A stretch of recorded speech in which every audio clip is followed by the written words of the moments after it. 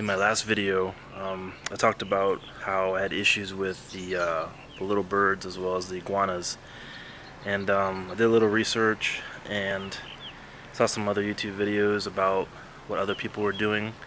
I didn't really get an answer or any videos pertaining to iguanas per se, but um, I did get some ideas. And I came up with something that I think will probably work but I'm not sure. I mean, the thing about growing food, you're never really sure what's going to happen unless you actually plant it. But this is going to be sort of like my, my test area again.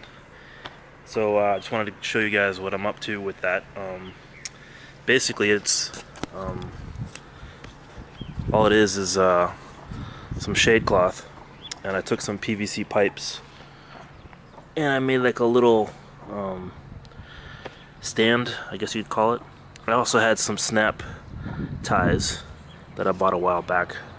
And uh, this is all one half inch PVC pipe. And what I did was I just put the shade cloth on top of it to kind of keep the uh, the birds and the iguanas out hopefully. I also mentioned I had some clinkers that I put as a walkway. But what happened with those was the weeds were growing underneath the clinkers the roots. So even though when I was trying to weed them uh, I couldn't really get to them. So what I did instead was I put these uh, ropes as little walkways. But it turns out they're perfect for uh, holding the uh, the shade cloth in place. But like I said, this is a little bit of a test area. Um, I don't know how it's going to work.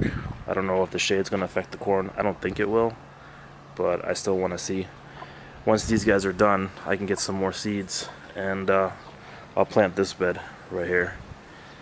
So I'll uh, keep you guys posted on that. Also, I wanted to give a little shout out to uh, 297 Farm. Uh, they were kind enough to invite me over to uh, check out what they're doing. Really cool stuff. Um, very, very high tech, but uh, impressive. So if you guys get a chance, um, just take a look at 297 Farm on Facebook. They got some cool stuff coming out. But anyways, I'll keep you guys posted on how this goes. It might be a little bit before I post the video on this project. But uh, I'll let you guys know how it goes. Alright, thank you. Bye.